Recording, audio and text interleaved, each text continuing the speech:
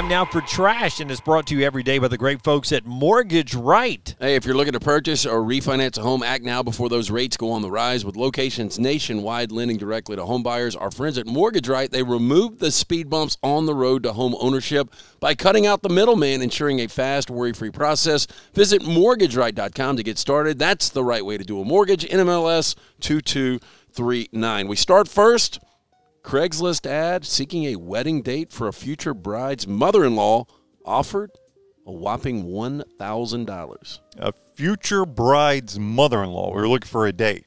That's what she was looking for. Oh, boy, name, image, and likeness has gone to a crazy place it now, really hasn't it? It's spreading that way. Now, the ad titled Wedding Date Wanted for Mother in Law was posted on July 11th to the Hudson Valley Craigslist, Times Union reported. I didn't know Craigslist still a big thing. It is a big thing. Uh, it's mainly mainly for um, well, actually, this Facebook Marketplace is taken over. Uh, if you have a uh, significant other that always on this Facebook Marketplace. You know, we know we've got a common friend that actually met his girlfriend on Craigslist.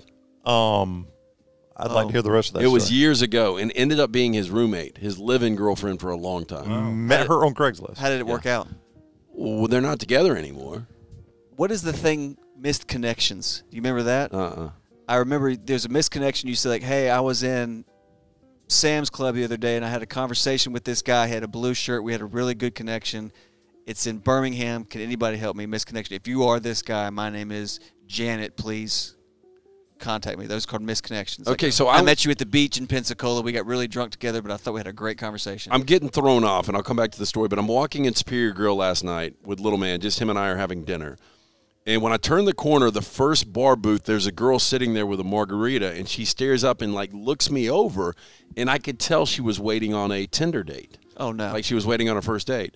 And I thought I'd be funny and say something to her, but I didn't. But I made sure we sat in the booth behind her because I wanted to hear the conversation. I'm not a big eavesdropper, but I wanted to see what the icebreaker was. Right. So the guy got there about 10 minutes late, and he starts talking about submarines and TikTok. that's my that's my go-to. And just, I mean, nonstop. I don't know if she got a word in. Oh, hmm. You'd have been, you would have been a better date, what you're saying. Can I give you an app I, idea? I don't know about that, but Here's, yes. here's an app idea based on something like that. Tell me if this app exists or if you think it's a good idea. So I uh, we went to the beach and we were at the pool, and there were, I think they were there with their parents, but they were college age kids, and there was guys and girls, and I noticed like kind of across the pool you could tell that there was some interaction going. You know what I'm saying? Yeah. Like looking and you know waving. And I thought, is there an app where I could create a profile and I can make it discoverable at a pool or like that? Oh, it already exists, right? What's it called? Tinder works like that.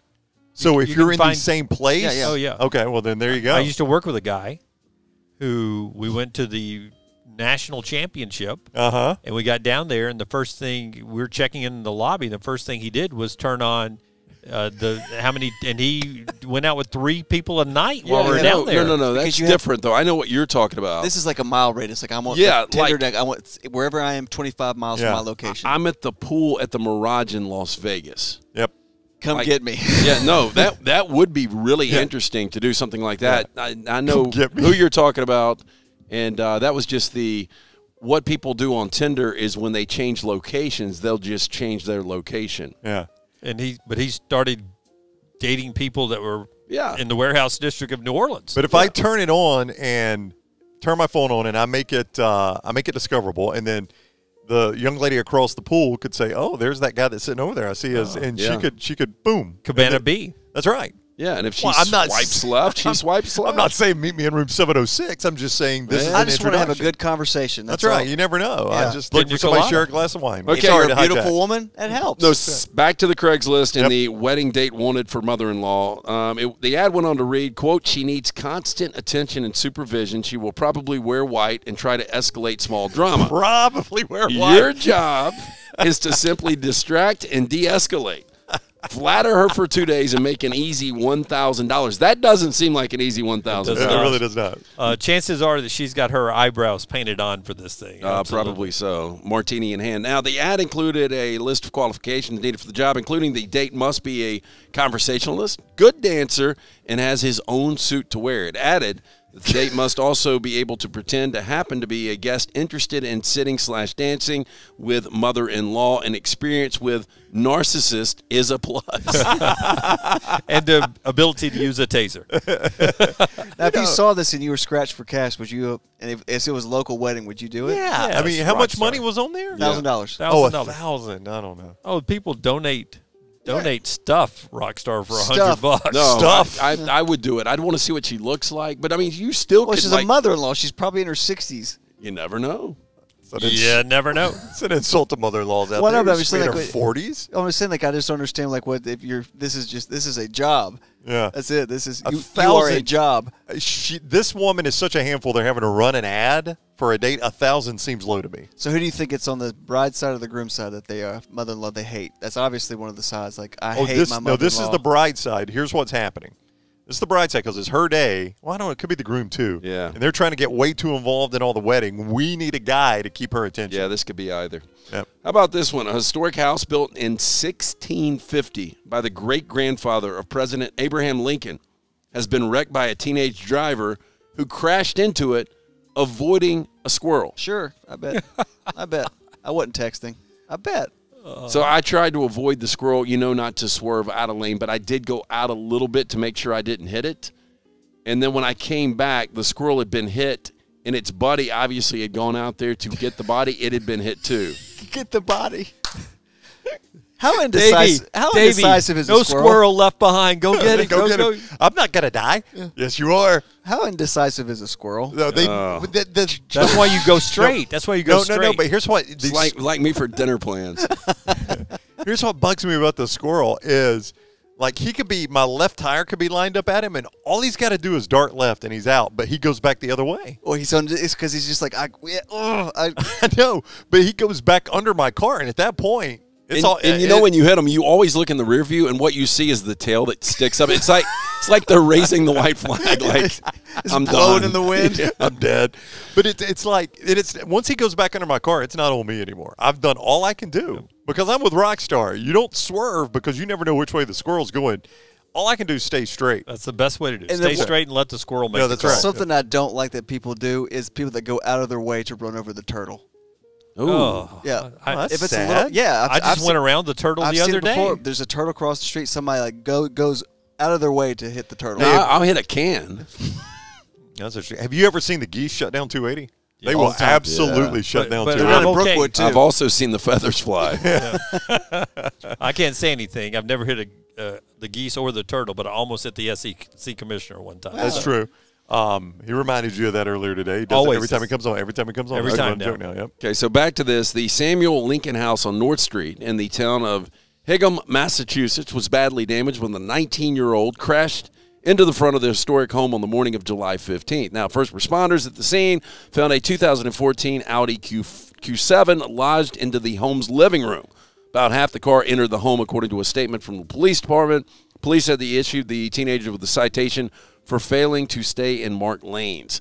Now, the owners of the Samuel Lincoln house were still asleep in their upstairs bedroom when the teenager's vehicle slammed into their home and ended up in their living room. The owner said they will repair the historical house and hire a specialist team to repair a sign that was knocked off in the crash.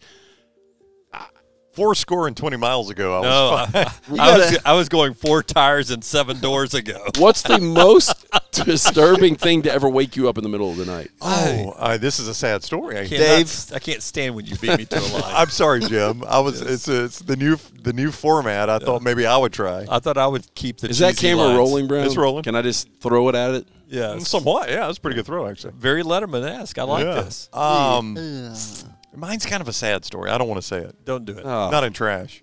Let me repeat it. Trash is a Four happy- tires and seven doors ago. Was my line. Now I'm trying to figure out what happened. What woke you up? Was it a All phone right. call? No, we. Uh, it was a nice night out, and we had decided we were in an apartment. It was right after my wife and I had gotten married. We moved to Birmingham. We were in uh, in the Homewood area in an apartment. And this is a sad story. I'm telling you, man. This is bringing trash down. I promise you, I won't cry. Uh, no, you won't cry. I was just, oh. Um, so we, uh, it was a nice night out, so we slept with the door, uh, the window was open. And sometime in the middle of the night, both my wife and I awoke to somebody screaming, "Help me! Oh dear God, help me, please!" screaming at the top of her Jennifer, lungs. will you close the window? to just turn the air conditioner on. So Ryan, that's why we're never getting a dog. So I called I called 911 and uh, I said, "Hey, look, we're in Wildwood Crossings 2717. I think that was our apartment number. And I can't tell you what apartment, but somebody just yelled, "Help me, dear God, help me, please." And um, they said, "Okay, we'll send the authorities." Worked out good. I guess Oh. I have no idea if it worked out. I went back to sleep. And she might have been in the middle of a heated oh, session. You have no idea, man. I mean, I'm trying to help you. help me by shutting up. woman cannot be pleased. Will you please take her to jail? Uh, I just heard homeboy next door called the police. I mean, what would you have done? Two more minutes. Two more minutes. Oh. What would you have done? I would have called the police. Okay. Yep. or close the window. Um, we or did, bought a house. we did close the window and went to bed, and eventually bought a house. All those things. Uh, next one out of an East China province. Uh, police have detained a man and a woman on suspicion of provoking trouble. have you been provoking trouble? The two Suspiciously. rented the woman's ex boyfriend's car and ran the red lights for 49 times in revenge. Oh wow! Now, local police first spotted the Audi, another Audi, after it broken it had broken traffic rules 50 times in two days, including 49 times for running the red lights and one for speeding. After an investigation, they found the car was rented by a man surnamed Chen and the car owner Kwan.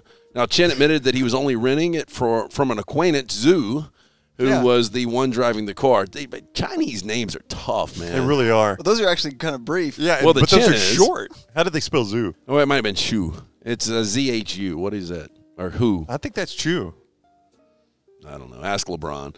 As police reached Zhu, he Such a confessed that the reason for such irrational behavior was that he had been pursuing a woman surnamed Lou for a long time, and Lou agreed to go out with him only if he sought revenge for her in this way. Did you put this story there just to hear do the names? Jesus. It turned out that Lou and the car owner Kwan had been dating before, but Kwan ditched her for another woman, which irritated Lou. What was- that is that is ridiculous. It's impossible to See if we read. it. What See if we was get what was puzzle. close? What was Chew's booze name? I don't know. Four score and seven tires ago.